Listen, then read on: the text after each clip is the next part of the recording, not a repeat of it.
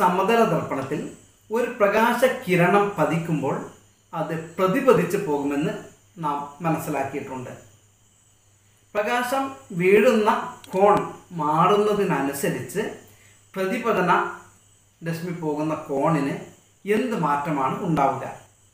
പതന കോണും പ്രതിപതന കോണും തമ്മിൽ എന്തെങ്കിലും ബന്ധമുണ്ടോ? ഇത് കണ്ടെത്താനുള്ള പരീക്ഷണമാണ് അവതരിപ്പിക്കുന്നത്.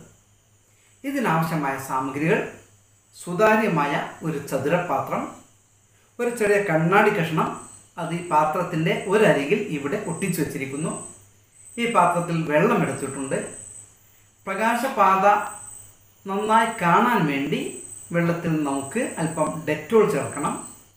പതന കിരണം പ്രതിപതന കിരണം എന്നിവ ലഭിക്കുന്നതിന് വേണ്ടി നാം ലേസർ ടോർച്ചാണ് ഉപയോഗിക്കുന്നത്. ഇനി വേണ്ടത് പതന കോണും പ്രതിപതന കോണും അളക്കാൻ ആവശ്യമായ പ്രൊട്രാക്ടറാണ് ഒരു സാധാരണ പ്രൊട്രാക്ടറിൽ നിന്ന് വ്യത്യസ്തമായി ഒരു സ്പെഷ്യൽ ടൈപ്പ് പ്രൊട്രാക്ടറാണ് ഇതിന് ഉപയോഗിക്കാൻ നല്ലത്.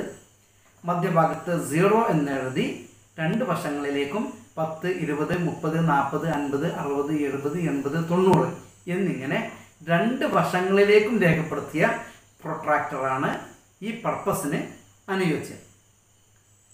സാധാരണ പ്രൊട്രാക്ടറുകളിൽ ഒരു വശത്ത് നിന്നും പൂജ്യത്തിൽ തുടങ്ങി മറ്റേ വശത്ത് നൂറ്റി എൺപതിലാണ് അവസാനിക്കുക.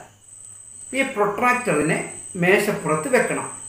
പ്രൊട്രാക്ടറിന്റെ സീറോ വരുന്ന ലൈൻ പാദത്തിലെത്തുന്ന ആ സ്ഥാനം ഈ മിററിന്റെ സെന്ററിൽ വരുന്ന രീതിയിൽ പാത്രത്തെ പ്രൊട്രാക്ടറിന്റെ മുകളിലേക്ക് മാറ്റിവെക്കണം ഇനി നമുക്ക് ലേസർ അടിച്ച് നോക്കാം. വ്യത്യസ്ത കോണുകളിലൂടെ ലേസർ ബീം വീഴ്ത്തുമ്പോൾ ഉണ്ടാകുന്ന പ്രതിപതന കോൺ നമുക്ക് നിരീക്ഷിക്കാം. ഞാൻ ഈ ലേസർ ടോർച്ച് ഓൺ ചെയ്യുകയാണ്. പൂജ്യത്തിലൂടെ അഥവാ ലംബത്തിലൂടെ നോർമലിലൂടെയാണ് ഞാൻ ആദ്യമായിട്ട് ലേസർ രശ്മി വീഴ്ത്തുന്നത്. നോക്കൂ ലംബത്തിലൂടെ അഥവാ നോർമലിലൂടെ വീഴുന്ന റേ നോർമലിലൂടെ തന്നെ തിരിച്ചു വരുന്നു. ഇനി നമുക്ക് പത്തിലൂടെ ലേസർ രശ്മി വീഴ്ത്തി നോക്കാം. നോക്കൂ പത്തിലൂടെ ദർപ്പണത്തിൽ പതിച്ച ലേസർ ബീം പത്തിലൂടെ തന്നെയാണ് തിരിച്ചു വരുന്നത്. ഇനി ഇരുപതിലൂടെ വീഴ്ത്തി നോക്കാം. നോക്കൂ ഇരുപതിലൂടെ വീഴുന്ന പ്രകാശ കിരണം ഇരുപതിലൂടെ തന്നെ തിരിച്ചു വരുന്നു. ഇനി മുപ്പതിലൂടെ നോക്കാം.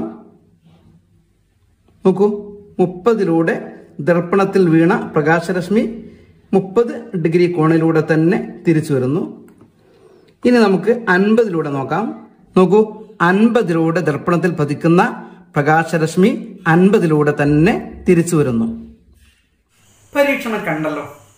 എന്താണ് നിങ്ങൾ നിരീക്ഷിച്ചത്?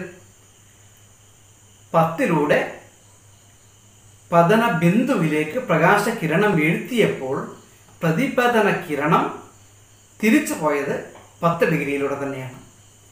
പതന കിരണം നാം ഇരുപതിലൂടെ വീഴ്ത്തിയപ്പോൾ പ്രതിപതന കിരണവും പോയത് ഇരുപതിലൂടെ തന്നെ. പതന കിരണം മുപ്പതിലേക്ക് മാറ്റിയപ്പോൾ പ്രതിപതന കിരണം മിററിൽ നിന്ന് പുറപ്പെട്ടത് മുപ്പതിലൂടെയാണ്. പൂജ്യത്തിലൂടെ പോകുന്ന ആ രേഖയാണ് ലംബം. ലംബത്തിനും പതന കിരണത്തിനും ഇടയിലുള്ള കോണാണ് പതനകോൺ ലംബത്തിനും പ്രതിപതന കിരണത്തിനും ഇടയിലുള്ള കോണാണ് പ്രതിപതന കോൺ. ഓരോ ഘട്ടങ്ങളിലുമുള്ള പരീക്ഷണങ്ങളിലും നാം കണ്ടത് പതന കോണും പ്രതിപതന കോണും തുല്യമാണ് എന്നാണ്.